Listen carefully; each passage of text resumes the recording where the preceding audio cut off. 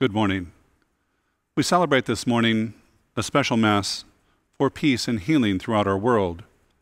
We also remember as our special intention George Floyd and all who have died by violence or injustice.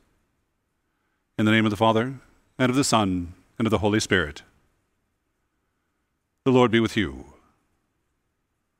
My sisters and brothers, as we gather this day to give thanks and praise to Almighty God, let us once again open our minds and hearts to his ongoing call to mercy, healing, and compassion.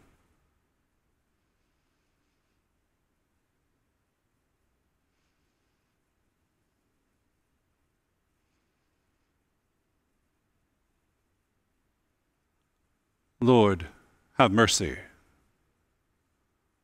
Christ, have mercy. Lord, have mercy.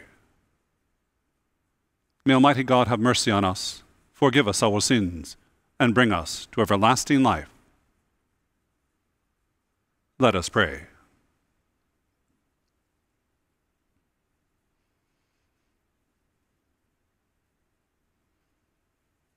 O God, who have revealed that peacemakers are to be called your children, grant that we may with, work without ceasing to establish that justice which alone ensures true and lasting peace.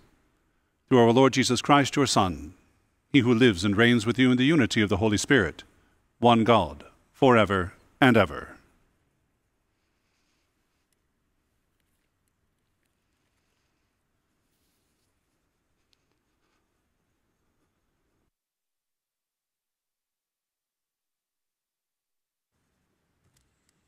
A reading from the book of the prophet Isaiah. In those days, the Spirit from on high will be poured out on us. Then will the desert become an orchard, and the orchard be regarded as a forest. Right will dwell in the desert, and justice abide in the orchard. Justice will bring about peace, right will produce calm and security. My people will live in peaceful country, in secure dwellings and quiet resting places. The word of the Lord. Justice shall flourish in his time, and fullness of peace forever. Justice shall flourish in his time, and fullness of peace forever.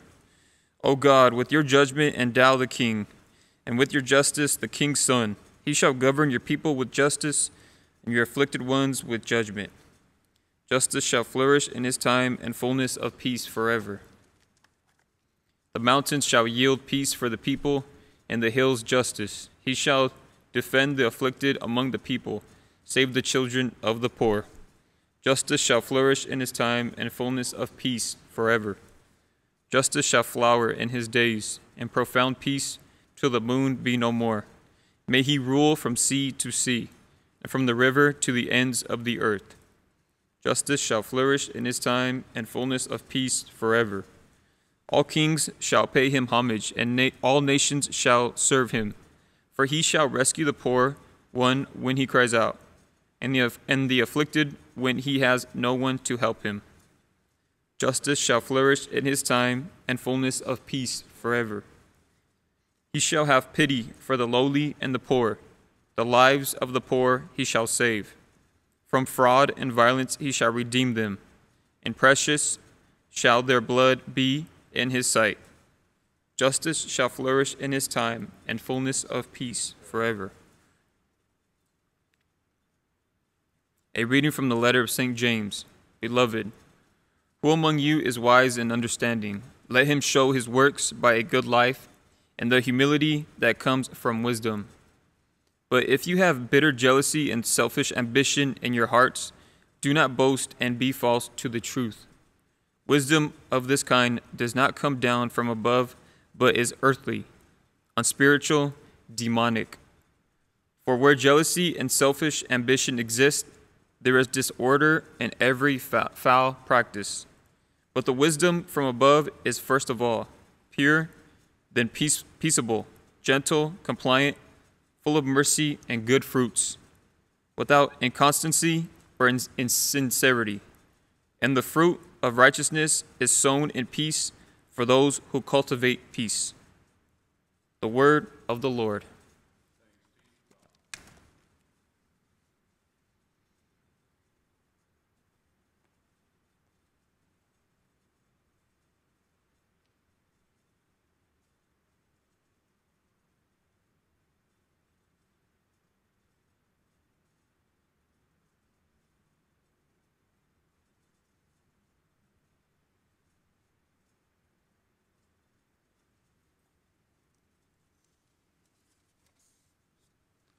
The Lord be with you. A reading from the Holy Gospel according to Matthew.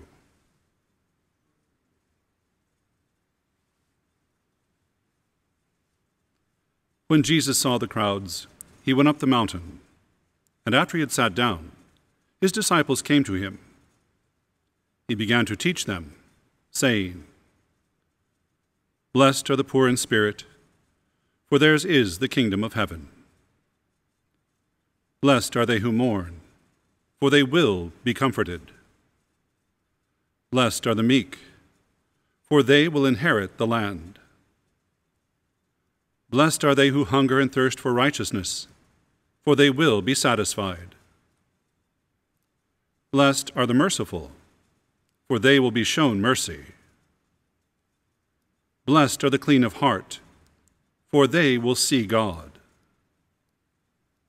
Blessed are the peacemakers, for they will be called children of God. Blessed are they who are persecuted for the sake of righteousness, for theirs is the kingdom of heaven. Blessed are you when they insult you and persecute you, and utter every kind of evil against you falsely because of me. Rejoice and be glad, for your reward will be great in heaven. The Gospel of the Lord.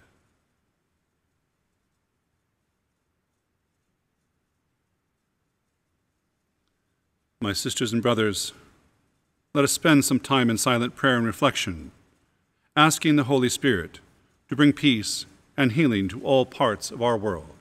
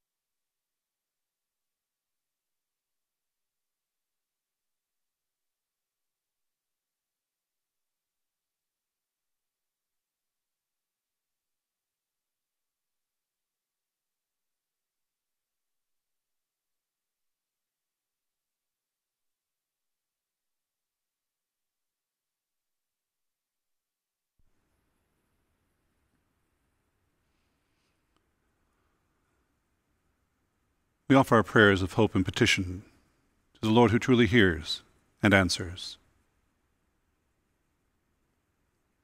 That the church, its leaders and people, may be filled with a genuine reverence for all life, working each day to respect, protect, and to heal. We pray to the Lord. That the leaders of nations may be inspired by the grace of the Holy Spirit, so that their leadership may bring about unity, justice, and peace. We pray to the Lord. For George Floyd and for all who have died by violence, anger, or indifference, that they may forever enjoy the light and peace of God's kingdom. We pray to the Lord. For the grace of courage and the strength of faith, that all people might be free from fear, anxiety, or self centeredness, we pray to the Lord.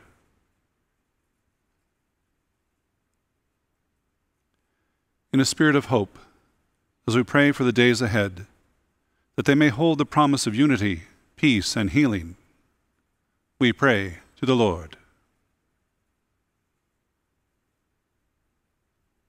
And for those prayers, hopes, and petitions we hold this day in the silence of our hearts.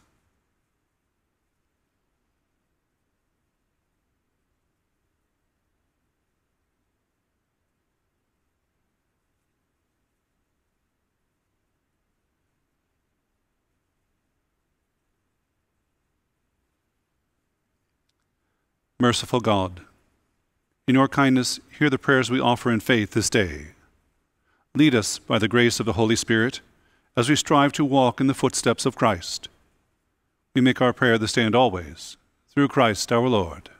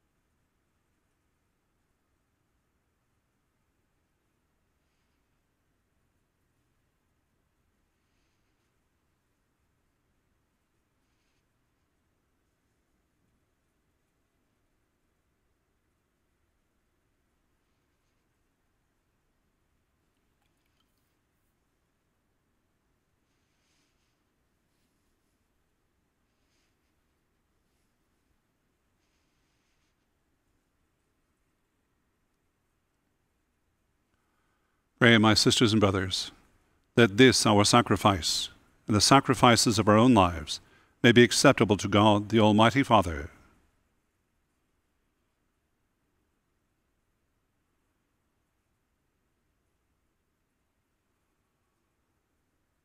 O Lord, may the saving sacrifice of your Son, the King of Peace, offered under sacramental signs that signify peace and unity, renew and strengthen and bring a lasting peace among all of your children through Christ our Lord. The Lord be with you. Lift up your hearts. Let us give thanks to the Lord our God.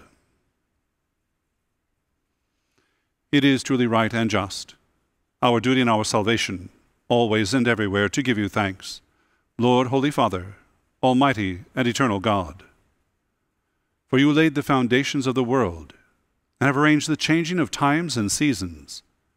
You formed us in your own image, setting us over the whole world in all its wonder, to rule in your name and by your example over all you have made, and forever praise you in your mighty works through Christ our Lord.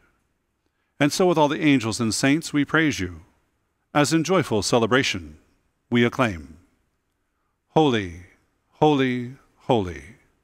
Lord God of hosts, heaven and earth are full of your glory. Hosanna in the highest. Blessed is he who comes in the name of the Lord. Hosanna in the highest.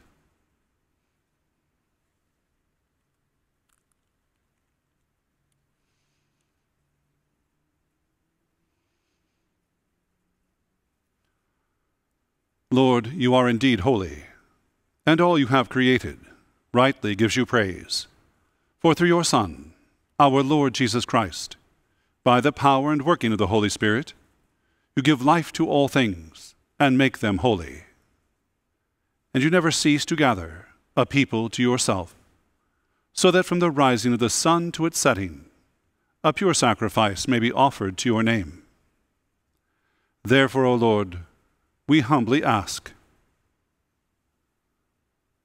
By that same Spirit, graciously make holy these gifts we have brought to you for consecration, that they may become the body and blood of your Son, our Lord Jesus Christ, at whose command we celebrate these mysteries.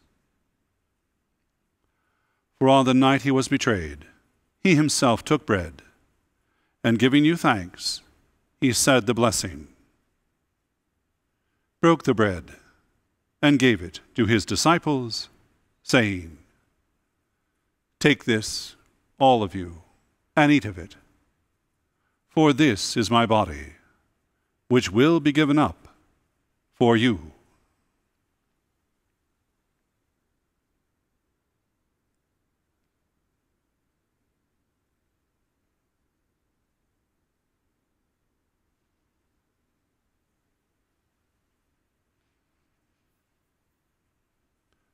In a similar way, when supper was ended, he took the chalice, and giving you thanks, he said the blessing, and gave the chalice to his disciples, saying, Take this, all of you, and drink from it. For this is the chalice of my blood, the blood of the new and eternal covenant, which will be poured out for you and for many, for the forgiveness of sins. Do this in memory of me.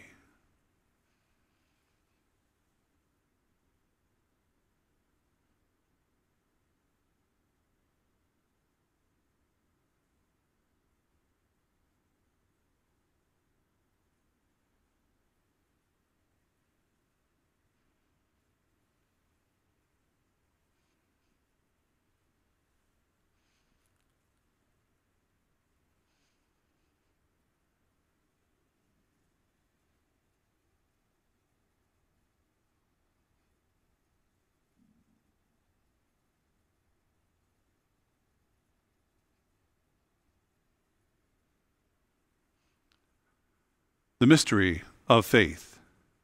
We proclaim your death, O Lord, and profess your resurrection until you come again.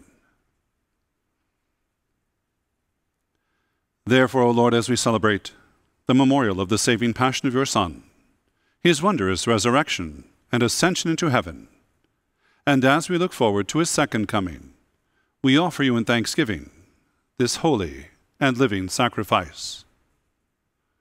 Look upon the offering of your church, and recognizing the sacrificial victim, by whose death you willed to reconcile us to yourself, grant that we, who are nourished by the body and blood of your Son, and filled with his Holy Spirit, may become one body, one Spirit in Christ. May he make of us an eternal offering to you, so that we may obtain an inheritance with your elect especially with the most blessed Virgin Mary, Mother of God, with blessed Joseph, her spouse, with your blessed apostles and glorious martyrs, with St. Paul the Apostle, and with all the saints, on whose constant intercession in your presence we rely for unfailing help. Lord, may the sacrifice of our reconciliation advance the peace and salvation of all the world. Be pleased to confirm in faith and charity, your pilgrim church on earth, your servant, Pope Francis, Gerald and Alberto, the bishops of this diocese, the order of bishops, all the clergy, and the entire people you have gained for your own. Listen graciously to the prayer of this family whom you have summoned before you. In your compassion, O merciful Father, gather to yourself all your children scattered throughout the world. To our departed brothers and sisters, and to all who were pleasing to you at their passing from this life, grant kind admittance into your kingdom. There we hope to enjoy forever the fullness of your glory through Christ our Lord, through whom you bestow upon the world all that is good.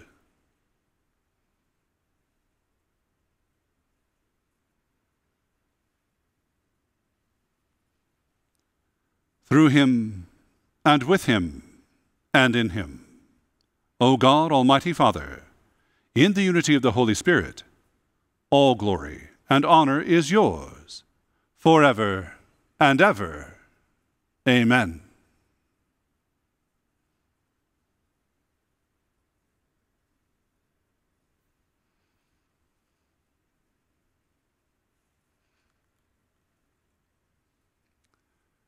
United this day in voice and heart, and joining Christians throughout the world with faith, hope, and confidence, let us once again echo the prayer of the Savior. Our Father, who art in heaven, hallowed be thy name. Thy kingdom come, thy will be done, on earth as it is in heaven. Give us this day our daily bread, and forgive us our trespasses, as we forgive those who trespass against us. And lead us not into temptation, but deliver us from evil. Deliver us, Lord, from every evil. Graciously grant peace in our days, that by the help of your mercy we may be always free from sin and safe from all distress, as we await the blessed hope and the coming of our Savior, Jesus Christ. For the kingdom, the power, and the glory are yours, now and forever. Lord Jesus Christ, who said to your apostles, I leave you peace, my peace I give you. Look not upon our sins, but upon the faith of your church gathered here this day, and grant us the peace and unity of your kingdom, where you live forever and ever. The peace of the Lord be with you always. My sisters and brothers, for our world and for those around us, let us offer a sign of peace.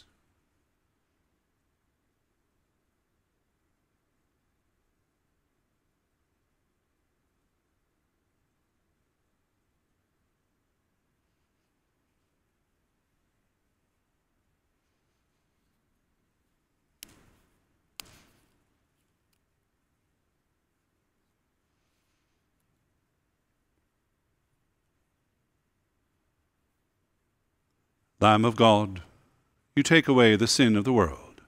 Have mercy on us. Lamb of God, you take away the sin of the world. Have mercy on us. Lamb of God, you take away the sin of the world. Grant us peace.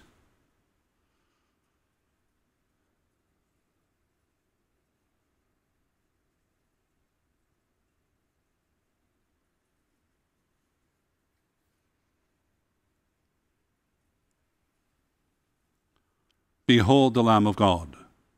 Behold him who takes away the sin of the world. Blessed are we who are called to the supper of the Lamb. Lord, I am not worthy that you should enter under my roof, but only say the word, and my soul shall be healed. My sisters and brothers, at this time I invite you to pray the prayer for a spiritual communion.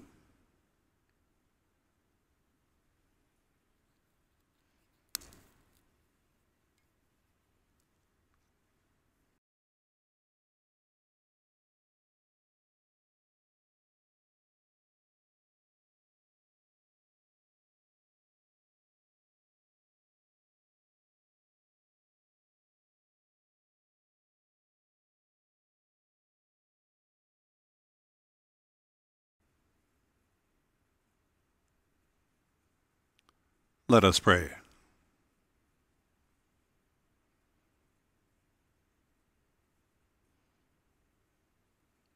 O Lord, renewed in hope this day, and with confidence in the true bread of life, may we continue to work for peace and justice, so as to overcome any anger, hatred, or violence that may afflict our world. Through Christ our Lord. The Lord be with you. May the grace and blessing of Almighty God, the Father, the Son, and the Holy Spirit descend upon you, remaining with you now and forever. Our celebration is ended. Let us go forth to love and serve the Lord in all those that we meet on a daily basis.